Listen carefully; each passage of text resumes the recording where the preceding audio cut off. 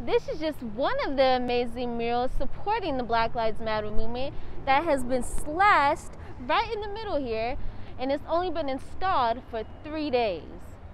Sound Transit officials discovered many of the paintings were slashed sometime during the night of August 20th. They suspected the damage is racially motivated. The person's motivation, but there was certainly a disturbing emphasis on faces. The five foot high murals near the Link Extension construction site included Northwestern and social justice images from local artists. To have something like that happen just feels like a personal attack against that. Artist Jasmine Brown explained that this is not the first time her paintings have been damaged. We got to the last piece that was underneath the West Seattle Bridge.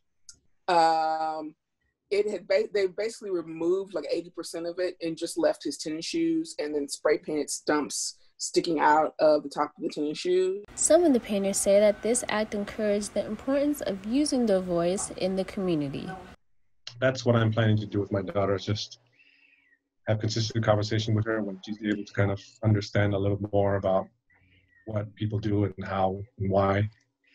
Sound Transit has since replaced the artwork and taken the proper measures to prevent future damages. Reporting from Federal Way, Washington, I'm Mariah Hill.